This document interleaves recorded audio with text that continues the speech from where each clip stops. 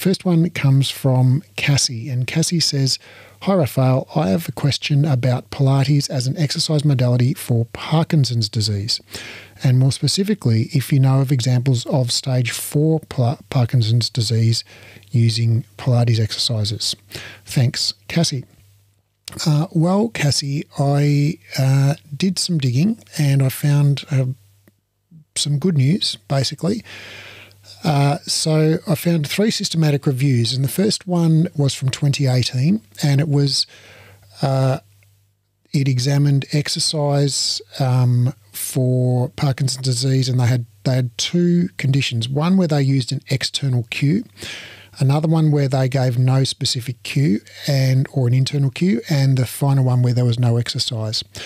Uh, and what they measured the outcomes in this systematic review, where they looked at studies that measured um, walking speed, um, average so average walking speed, uh, maximum walking speed, sit to stand time, uh, step length, and what they found was that basically the external cue uh, condition was superior to both the non-exercise condition and also to exercise without specific cues or with internal cues. So, uh, what that suggests is you should work on um, with your Parkinson's disease patient or client is uh, practice walking, practice sit to stand, um, and give them external cues like, you know, step on that dot on the floor or walk towards the wall or those kinds of things. Um, you know, lift your shoes higher as you step. So, those kinds of things, cues that focus on a result of the movement that bring their attention to a point outside their body.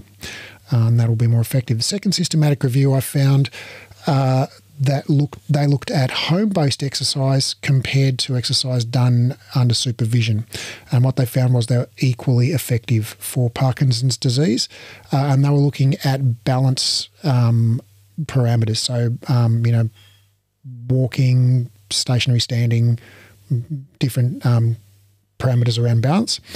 Uh, and so home based exercise can be just as effective. Uh, and the third review I found was on mind body exercises. Now, this wasn't actually didn't include any studies on Pilates, it uh, was focused on yoga and Tai Chi and Qigong. Um, but my gut is we could probably smush Pilates in um, there quite comfortably.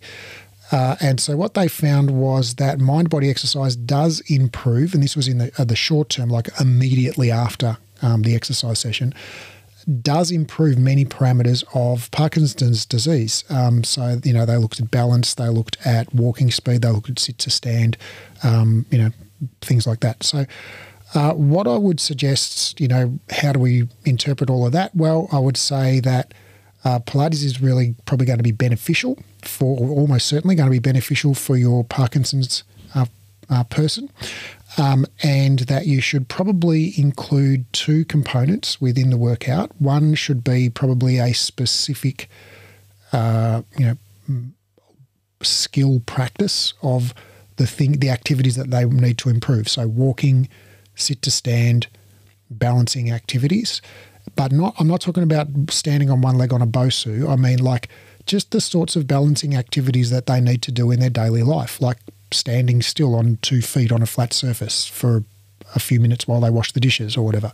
So, walking upstairs, walking downstairs, those kinds of things. Practice those using external cues. So, focus on cues that relate to the environment giving them giving them cues about where to put their shoes. You know, place the sole of your shoe on the second step. Walk towards the wall. Lift the the crease of your pants leg higher as you walk. You know, give them cues that bring their focus of attention outside their body. The second part of the work, or the second component of the workout, should I think just be a general Pilates workout because um, of that study that you know, that review that found mind body exercise is beneficial. So just do general whole body, you know, Pilates work. Again, I would focus on external cueing during that. So cueing them to bring their attention to a point outside their body, but just and just work work through the Pilates repertoire, you know, within their capability, whatever their level of function and fitness and flexibility is. You know, give them appropriately modified things that are attainable for them. Um, so, yeah, I hope, hope you find that helpful and uh, good luck.